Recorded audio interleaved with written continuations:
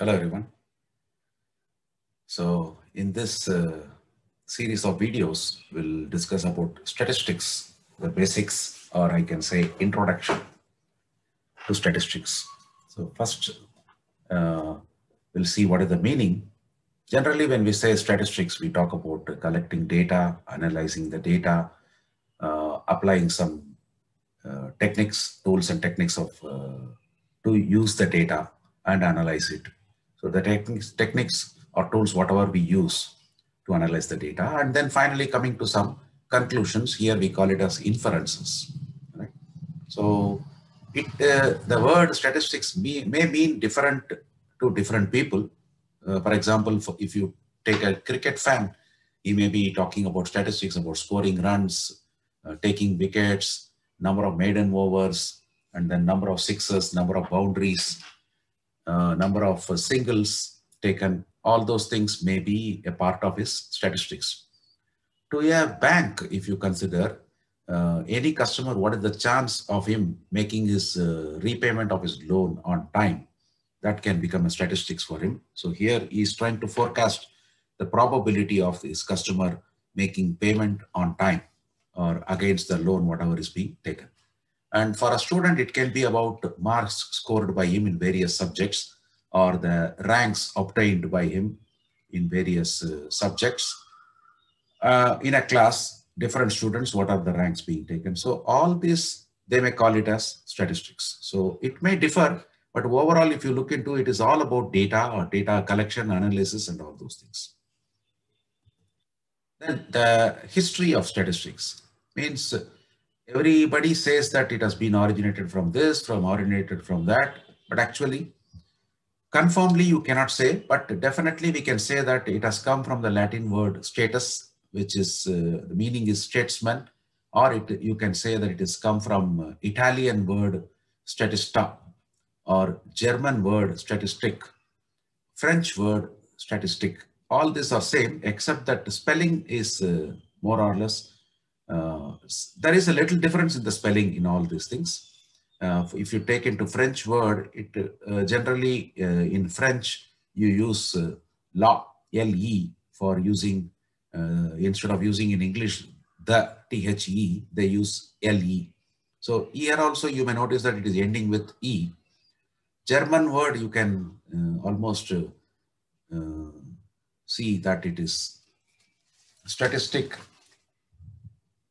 is uh, written more or less. I, I should actually put it as, uh, let me, this, this, spelling should be ending with K, almost like a swastik.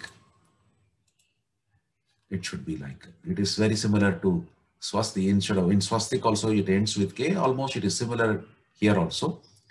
And the Italian word, it is like statista, which is very similar to your barista almost like that. So it, these are some of the things like uh, people say that it has originated from this word, from this word, and this word like that.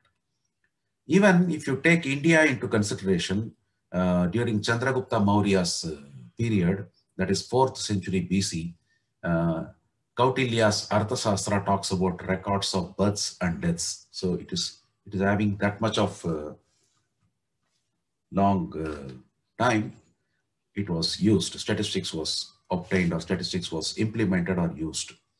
Even in uh, Akbar's uh, regime during 16th century AD, Abu Fazal in his Ain-i-Akbari uh, mentioned about statistical records on agriculture during that period.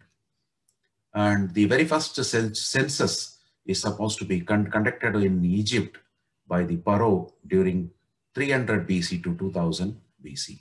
So these are all the background or you can say history of statistics, uh, how it is uh, started being used or implemented. Some may say even uh, statistics are used even in Mahabharata to maintain the records of their army, how much horses they were having, how much, uh, how many elephants they were having. All those things are maintained by this Nakul and Sahadev in uh, Pandava's side. That also people used to say, but you don't have any concrete proof for all those things. But they also, in order to maintain, if at all, if those epics are to be considered as a reality, then definitely they need to maintain some sort of records, which you can call it as statistics. Hmm. Definition is concerned, it can be defined in two different ways. One is called as a singular sense and another one is a plural sense. So in singular sense, it is all about uh, scientific method that it is uh, that is employed for collecting, analyzing and presenting the data and finally leading to some statistical inferences about some specific characteristics like uh, average or standard deviation or anything. It can be anything.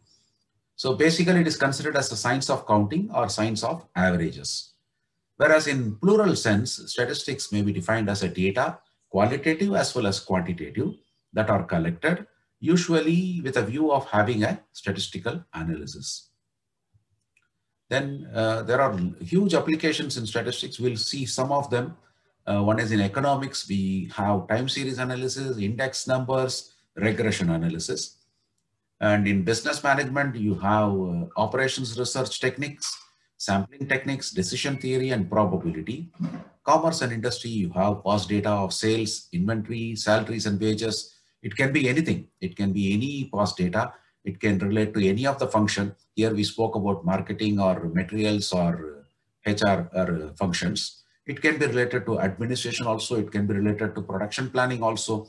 It can be related to maintenance also. It can be related to uh, what do you call quality control also. Of course, statistical quality control uh, is there and then wherein you use these measures of central tendency, dispersion, correlation, etc. Then uh, research has got huge applications of statistics like how do you collect data, what type of data to be collected, what are the methods of collecting data, and then how do you do analysis, what are the different types of analysis, how do you interpret based on your analysis. Then comes your, uh, you might have uh, created some hypothesis, how do you test those hypotheses? Then you have this conjoint analysis, factor analysis, which are used in widely in marketing research. So all these are some of the applications of statistics. Then it has got definitely some limitations. It does not deal with individual measurements. Means if I take a single person and if I want to do any analysis, that is not possible because you need somebody, uh, some more data to compare or uh, to have an average and all those things. With individual measurements, you can't uh, do any statistics related analysis. Does not deal with qualitative data, but qualitative data can be, can be converted to a quantitative data by assigning some numbers to those uh, numerical data, right? So whenever you talk about statistics, you actually talk about the average data only because you can't do generally on uh, your collection of data cannot be on population always. You may have to go for random sampling. If you go for random sampling, you may go for averages of those. So any predictions or any conclusions or any inferences you are arriving, it's all based on averages only. So you can say it is only true on averages. You can't say that uh, every data point may satisfy what you want to communicate.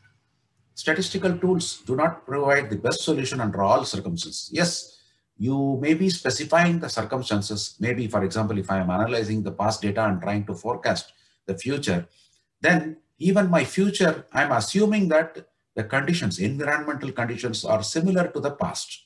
So it cannot be for all circumstances. Suddenly the circumstances change. Those things may not be applicable for my future.